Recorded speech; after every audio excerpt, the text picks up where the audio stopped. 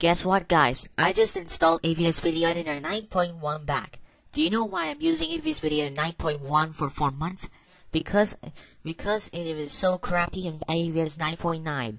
AVS Video Editor 9.1 is better, but um, even worse.